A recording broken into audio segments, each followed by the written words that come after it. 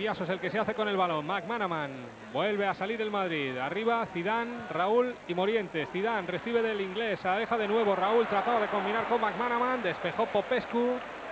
Qué bueno es Popescu, ¿eh? Y ahora viene la salida de sus compañeros. Miculescu se ha marchado de Raúl Bravo, de Helguera y hay problemas. Miculescu dentro del área. Miculescu atrás. El remate fuera. El remate de Dan Fiulescu. Ahora el dúo de punta del Dinamo de Bucarest ha estado a punto de conseguir el segundo. Ahí ven cómo se va Miculescu, cómo levanta la cabeza, cómo mandan los cánones, la entrega tras a su compañero.